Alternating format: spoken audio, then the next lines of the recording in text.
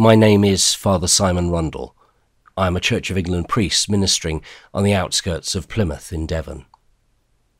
In recent months, I've become increasingly aware of the financial pressures being placed upon everyone across the nation.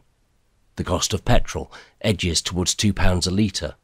Heating bills have pretty much doubled for me, and my weekly shop is quite a painful experience, and I'm in a position of privilege and a regular stipend as our parish tries to respond to the needs of the community by planning to set up a food larder and sorting emergency rations for people placed in the local travel lodge who would otherwise be homeless, we're reminded of the reality of the struggle to make ends meet and the difficulties of being forced to make a choice between putting food on the table or heating the house.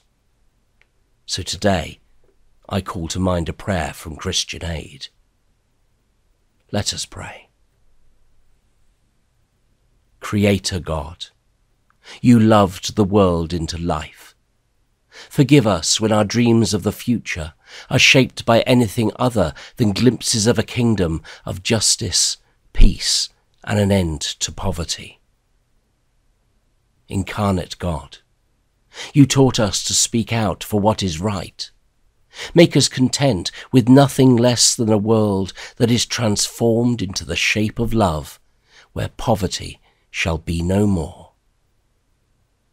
Breath of God, let there be abundant life. Inspire us with the vision of poverty overcome, and give us the faith, courage, and will to make it happen in our localities, our communities, and the whole world. Amen.